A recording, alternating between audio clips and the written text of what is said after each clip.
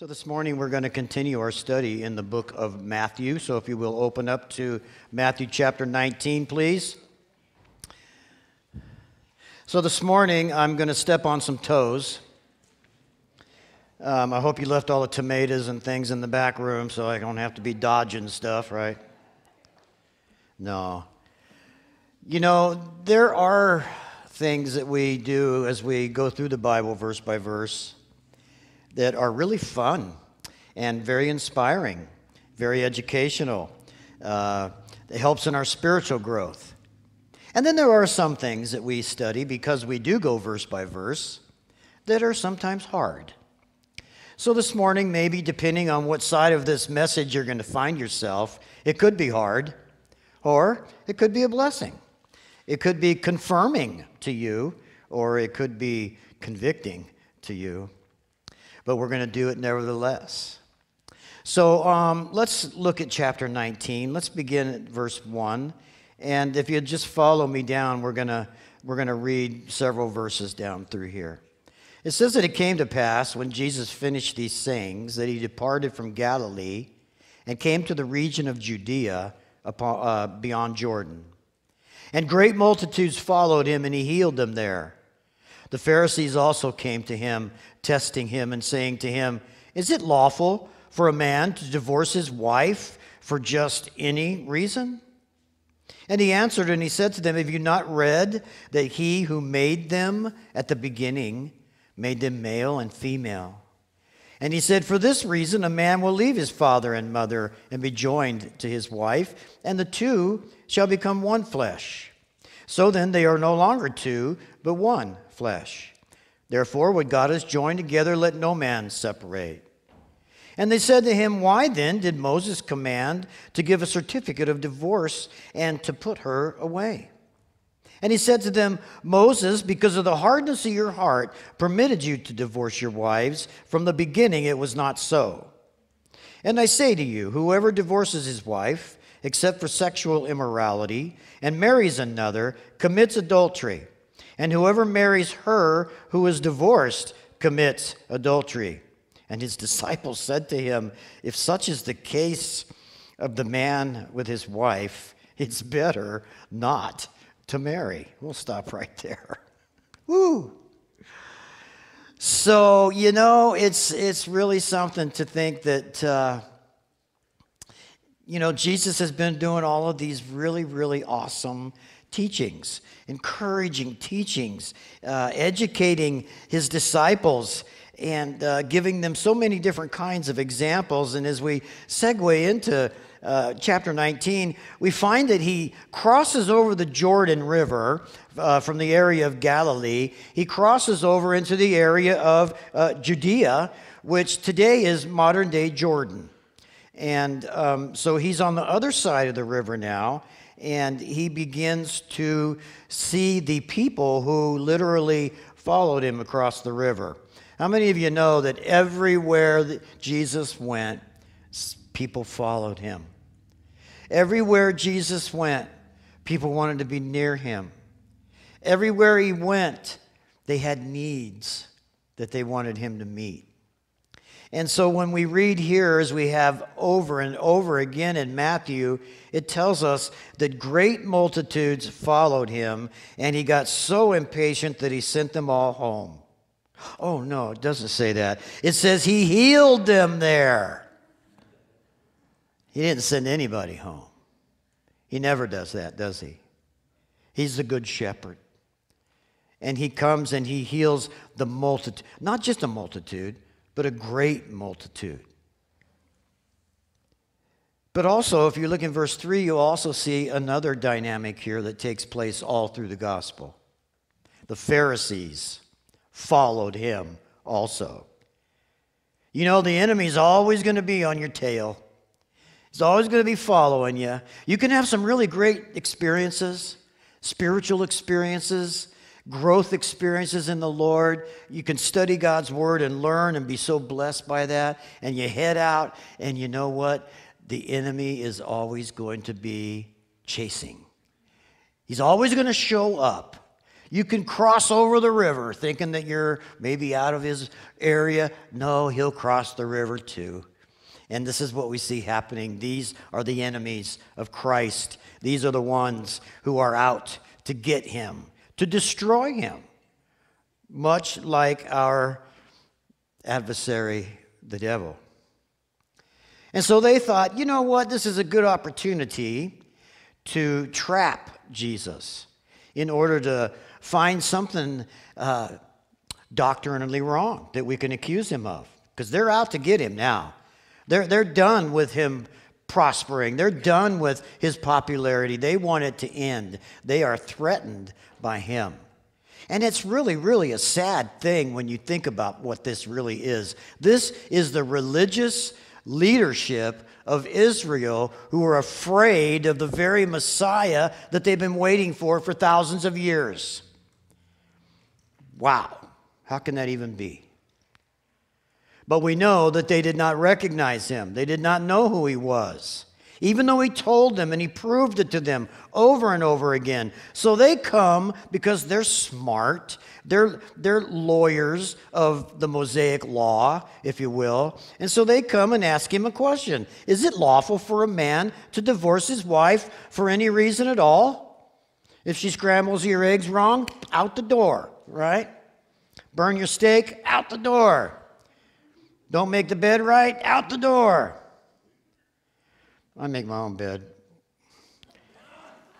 I do my own laundry. So she keeps me around. I mean, 42 years, that's pretty good, don't you think? She got me trained. So, anyway, these guys come. We don't know how many there are, but there's a little contingency of them, you know. They kind of move together, you know, wherever they go. They, you know, you see them moving around. And they come and they're going to trap Jesus now because here's the thing they know the cultural setting. They know that these people have been under the influence of Roman rule and Roman law for a long time.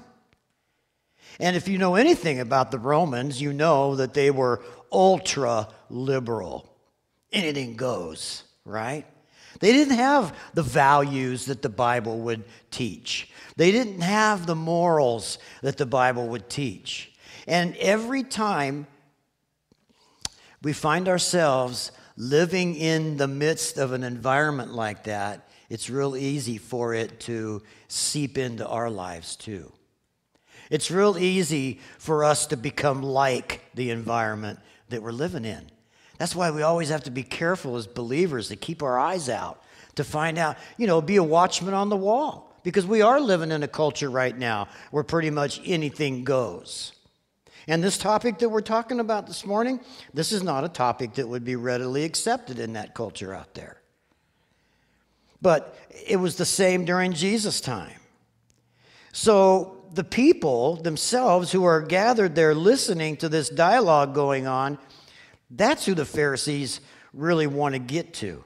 They want to turn them on Jesus. And they think that, you know what, whatever answer he gives to this question, he's going to be in trouble because there's going to be someone who doesn't agree with him. So they ask the question Can you divorce a person for any reason? A woman, your wife, your husband?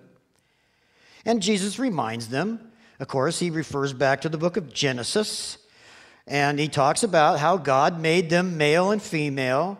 Uh, and for this reason, a father and the mother, his father and mother, he will leave his father and mother and be joined to his wife, and the two become one flesh. They are joined together and they become one flesh.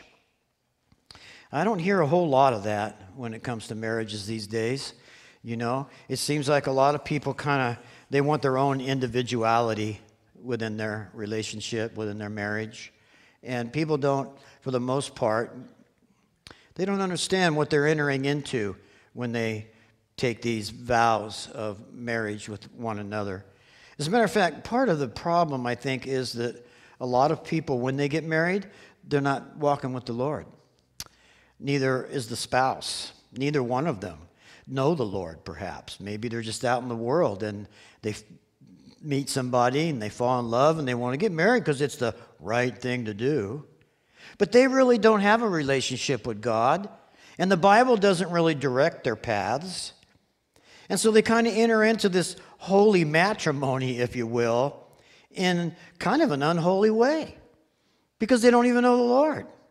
I kind of wonder sometimes how God feels about that as He sees those folks doing those vows and making those vows together, but they have no clue about why they're doing it. Now, Paul tells us some really awesome things in his writings concerning husbands and wives. As a matter of fact, he makes a correlation between husbands and wives and Jesus and the church.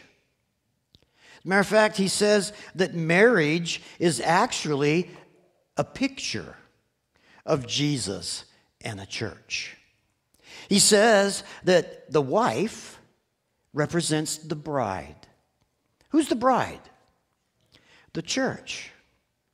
And the husband, he represents Christ. He's the head. He represents Jesus.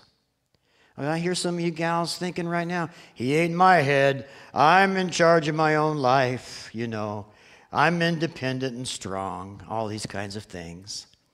And that's, you know, that's pretty normal. But would you feel comfortable, ladies, if Jesus were to come and say, I want to be your husband, and you would say, I will submit to you in any area you would ask because I trust that you have my best interest at heart. You'll never ask me to do something that isn't a blessing. That's true about Jesus, isn't it? And it should be true about us guys, too, in our marriage relationships. Our wives should have confidence in us to know that you're never going to ask her to embark upon a journey of which she doesn't want to go, no matter what it might be. If it's going to hurt her or damage her spiritually or emotionally, then us guys, it's our job to be the protector. It's our job to be the one who hovers over her it's our job to say, you know what? I had an agenda when I was single. I could go out with anyone, I could go anywhere, I could do anything I want to do, but because I love this person so much, I'm willing to forfeit that, that privilege of freedom, if you will. I'm, I'm willing to forfeit that and give all my devotion to this one person. I'm willing to die to myself in order to be with my bride, much like what Jesus did for us. Beautiful picture. That's what a marriage should reflect. Very rare, very seldom do you really see that uh, working itself out uh, in, in many marriages today. And, and I know that a lot of us in here this morning that are married, this message is going to, um, it's going to touch us. And then there's some of us who have been married before and it didn't work out. And now we're married again. And you're reading this and you're going, oh my God, I'm on my way to hell. From all, you know, from first glance, you would think, wow, I thought we were saved by grace. I thought that was the blood of Jesus that covered me from for all, you know, washed away my sin. And here now I'm worried because boy, I'm I'm on my way to the pit, you know. So we're going to address that this morning too. Because I know that that happens a lot. I think that, you know, one of the things I feel is that God is a very merciful, gracious, and understanding creator. He knows us better than we know ourselves. He knew when you entered into that covenant relationship that it wasn't going to work out. He knew it already. You didn't surprise him when you guys said, I can't live with you anymore. I'm out of here. You burnt my toast one too many times. And, you know, things are starting to sag. Uh, I, I, need to t- trade you in for a new model. I want to get the new electric model right? Instead of the gas powered model. Uh, yeah, but that's the culture we live in today. If it gets old, just replace it, right? it's good to know that none of us fall in that category this morning. So, the Lord, the first thing He does here, He doesn't just come out and say yes or no. He doesn't answer them by saying, Yeah, you can divorce her for any reason. Moses said you could do that, so that's cool. He doesn't do that. Immediately, he goes to the scripture. Immediately, he goes to God's word to give them the answer. And I'll tell you something, you guys. You can always find the answer to your question, whatever it might be, in his word. And when you do, you want to hang on to it because it's his word. You know, everybody has an opinion, right? And they all vary. So, you know, uh, we need something that is solid, something that is rooted, something that is unchangeable to govern our lives, no matter what's going on out there or with styles or whatever it might be, the latest thing. We need to go to the Word. And not only does he go to the Old Testament and quote the Scripture, he also tells them what it means. He tells them exactly in verse 6, he says, They're no longer two people. You got, you know, how many people really think about that when they're getting married? I know a lot of people that got married, you know why? Because they were lonely. And they found somebody that paid attention to them. And they really needed that attention to make them happy. And perhaps the other party felt the same way. So I'm going to marry you, but I'm going to do it for what you can do for me. I'm going to do it so that you can fulfill my need in my life. A marriage based upon that will never survive. It's exactly the opposite of how God laid it out. Marriage is something where selfishness has to go away permanently.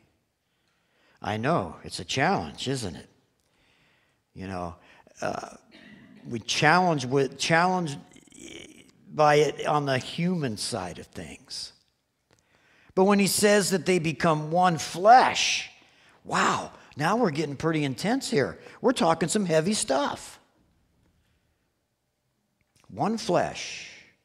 You know, the word uh, in the old uh, King James, uh, in verse 5, it says, He'll leave his father and his mother and be joined to his wife. The old King James has the word cleave to his wife. I like that word better because it, it's more, uh, more expressive. Cleave, like with all your might, like you're glued together. And you're not glued together with that milky white water soluble glue, you're, you're glued together with the super glue. You know, the one that holds a car in the air with one drop, right?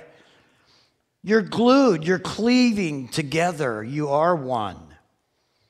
Have you ever had, you know, maybe papers or uh, something like that, and maybe they get a little moist and, and they, they stick together?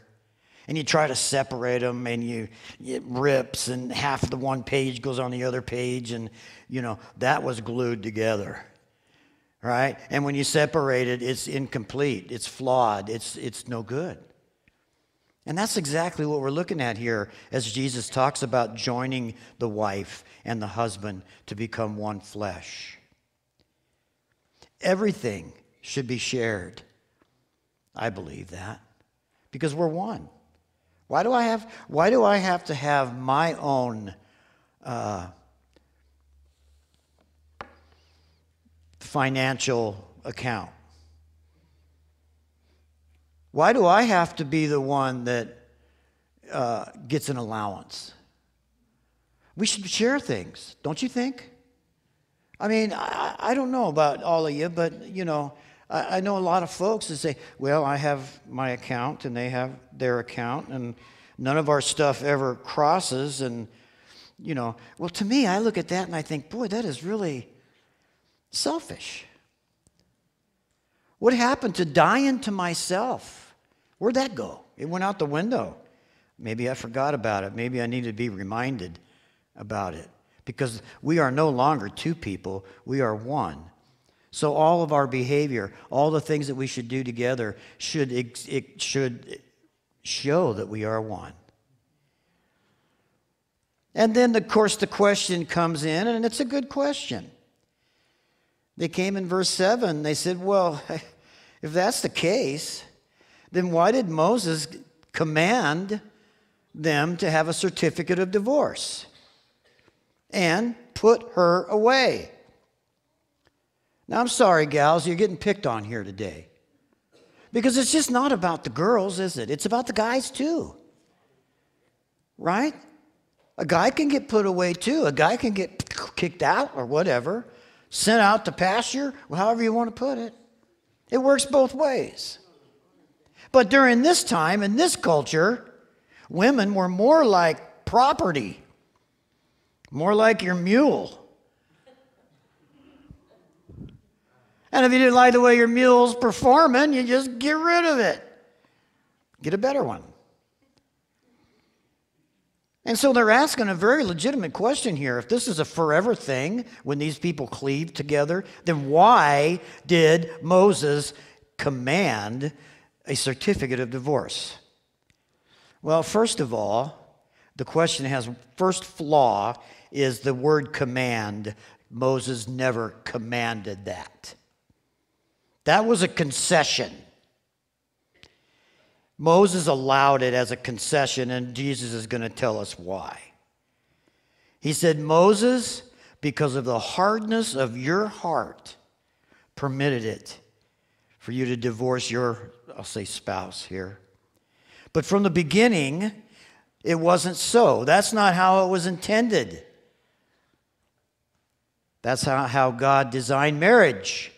Could you imagine if maybe you have a rough week and Jesus comes to you as the bride and says, You know what? I'm sorry, babe. You, you didn't live up to my expectations, so I'm going to put you away. I'm going to get rid of you now. He'll never do that, will he? He will never leave us, he will never forsake us. And that's why I think marriage is so precious. That's why we do premarital counseling before we do weddings, because we want people to know what a marriage really is in the Bible and how God views it and how precious and special it is. One more thing that I have to say before we move on here. In verse 4, God made them male and female. Okay? That's the bottom line. You can't change that no matter how hard you try. No matter how much you want to lie to yourself, no matter how much you want to fit in, no matter how much you want your own way, you cannot change this. A man is a man, a woman is a woman. God made them to come together to be one. Period. I guess that takes care of all the other stuff that you're wondering if I'm going to say. Right? But I don't think it needs to be said. You know, I'm not a kind of guy that wants to condemn people or pick on people or, um, you know, I get critical. I get angry uh, at some of the things I see going on, and, and, and I really get frustrated, you know. But at the same time, I, I feel bad. I feel sad. Uh, I feel pity for some of these people because they are so absolutely lost they are in darkness so deep that they can't even conceive of the light. You know, you might even have people in your family that are there. I say pray for them. Don't condemn them, pray for them. One of the first things that happens when we pray for our loved ones, or for anybody for that matter, is we need to remember that they've been deceived by Satan. It's the devil that's closed their eyes. And I like to think that if I pray and I ask Jesus to bind the enemy in that person's life and to allow them to open their eyes, if they could open their eyes, they would see the truth. But they're so blind that it's almost impossible unless God does it. I'm not going to do it. You're not going to be able to do it. And many, many times it just brings up so much hatred and anger in our lives. So, marriage is very precious in God's eyes. It's a beautiful picture. You know, even in the Old Testament, he refers to the children of Israel as his wife. And he tells his wife, he said, You were unfaithful to me. You, you committed adultery on me by going and worshiping other gods. Therefore, you love those gods so much, then we're going to let you move right in with them all for a while. We're going to we're going to take you into captivity. Our relationship is going to be separated because of you worshiping another God. There is only one God, there is only one Son, one Holy Spirit, and we are not to worship any other. So, because of the hardness of your hearts, wow, that's powerful. And then in verse 9, he says the tough one Whoever divorces his wife, except for adultery, and marries another, commits adultery. And whoever marries her who is divorced commits adultery. Now, I don't see Jesus sitting here saying, and if you do that, then there's no hope for you.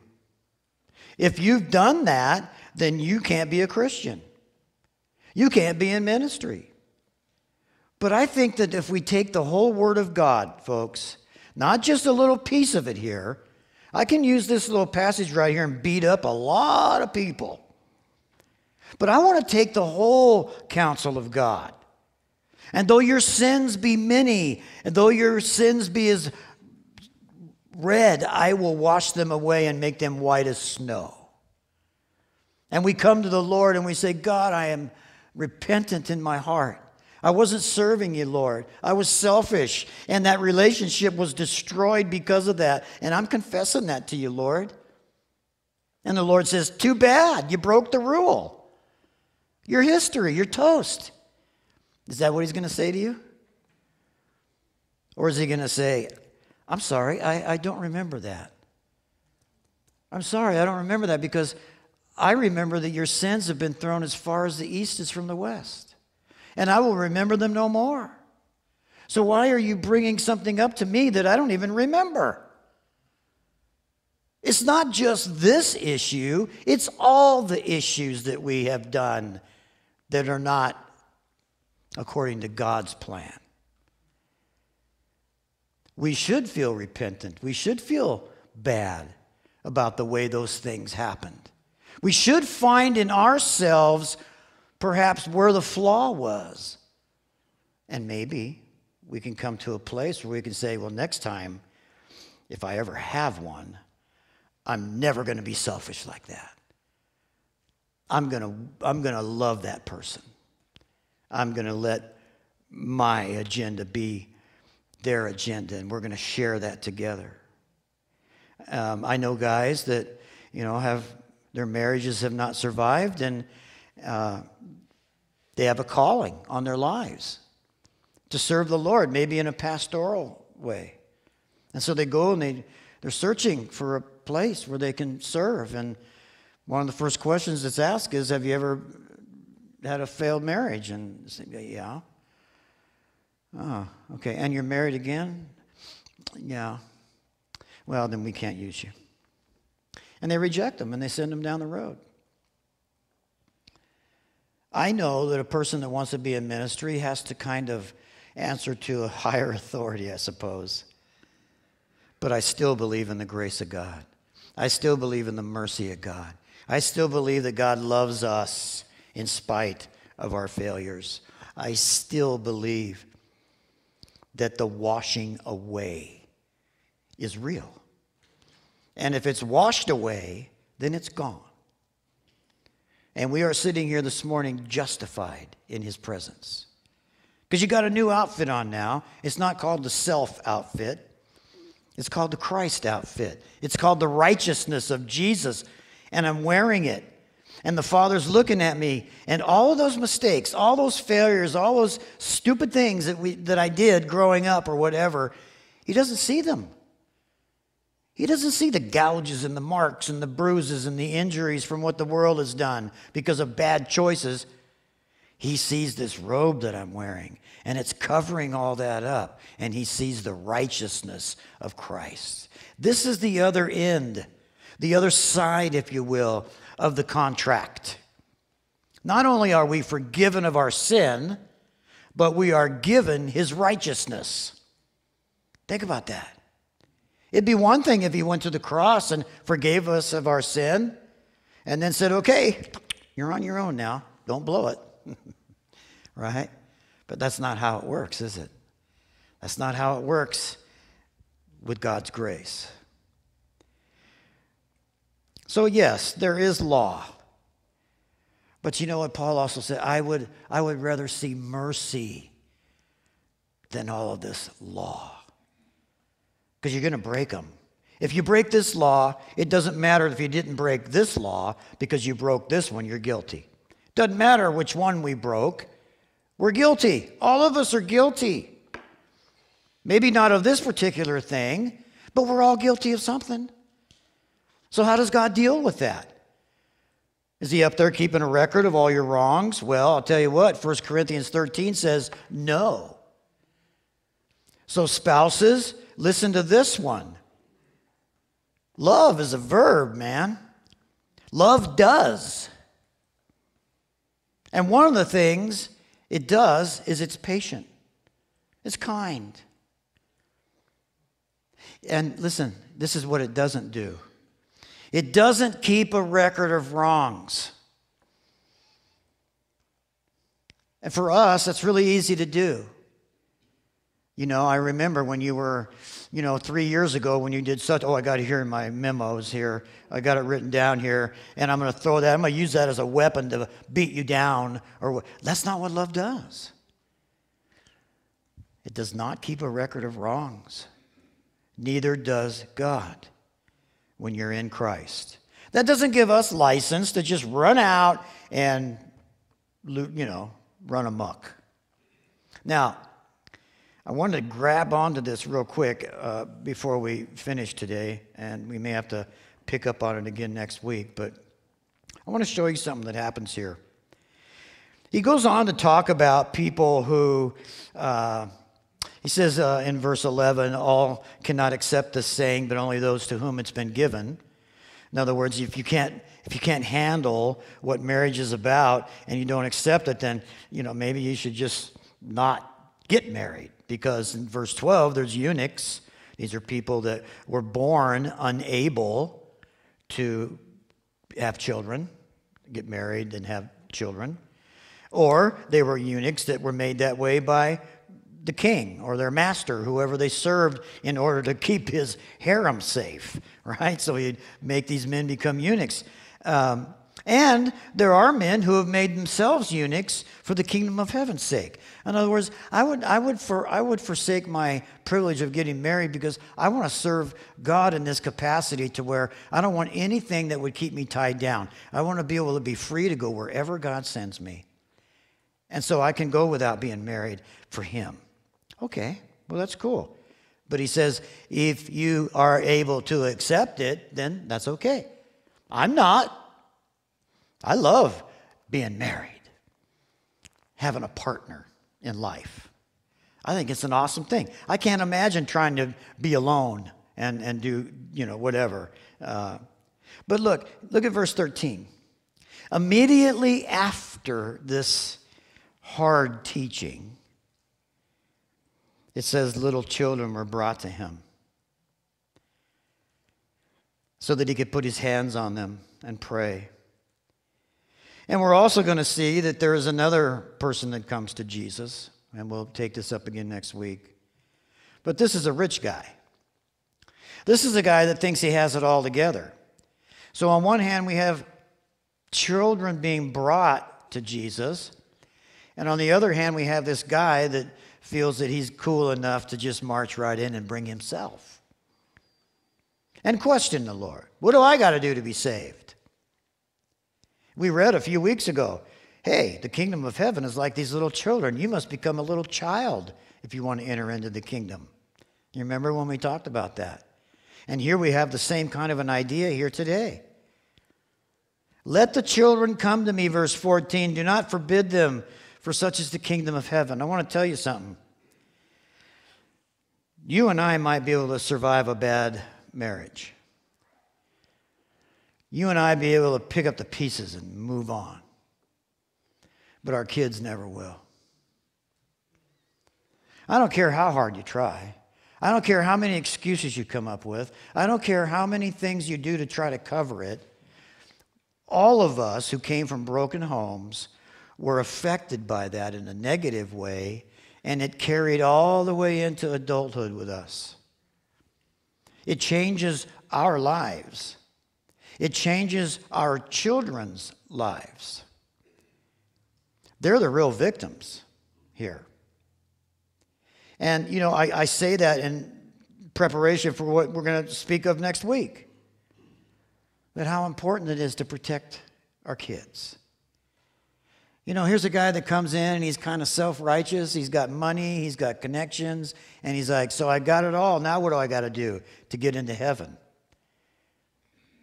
And then here's some kids that are coming and they can't even come to Jesus on their own. They were brought to him. They don't even have the capacity to come to him on their own. But yet he says this this is what the kingdom is like. This is, this is like the kingdom of heaven. So I want to just say this in closing. Why don't we have the worship team come up? I did not want to come up here and talk about this today. It would have been a lot easier to just move across the book a little bit more. Uh, because I know it might have been sensitive to some of you, and I want you to know that it was never intended to be that way. Matter of fact, I've done my best to be as gracious as possible this morning. But I want you to know that forgiveness of sin is available to us in every area of our lives. Every area. Did you ever steal anything? I mean, maybe not, but I did. Candy bars. You ever go in a store and snatch a candy bar? I mean, we make mistakes. When we're kids, we make them as adults. We sin. So is God going to say, well, you know, the blood of my son, it was good for the candy bar problem, but not for that one? Because you know what the Bible says? It cleanses us from how much sin? All sin. So we're in here this morning and we're all justified. Right? We've all been called, just as we read about this morning. And we want to live in that and be blessed in that and do it right. Amen. Heavenly Father, we want to thank you this morning for your word. And uh, I just want to pray, God, because I know that there, there are some here this morning who might be struggling in this particular area uh, with what marriage is. And I would just ask you, Lord, that you would show them that selfishness is not part of it. Pride is not part of it. An unwillingness to take responsibility is not part of it. And that you would speak to hearts, God, that you would give hearts forgiveness and grace and mercy, that they would be able to see things from a different perspective, that they would have that heart's desire to say, you know what? We need to forgive one another. We need to move on. We need to serve the Lord. We need to glorify Him. And for those, Lord, who are struggling in, in other areas like that, God, I want to pray for them too. That you just hold them up and speak to them this morning, Lord. We're here because we want to do the right thing. We're here not because we have to be here, we're here because we want to be here with you. And we want to hear from you, and we want our lives to reflect you. So I just want to pray, Lord, that you'd help each one of us in those areas selflessness, Christ centered lives. And we ask it in Jesus' name. Amen.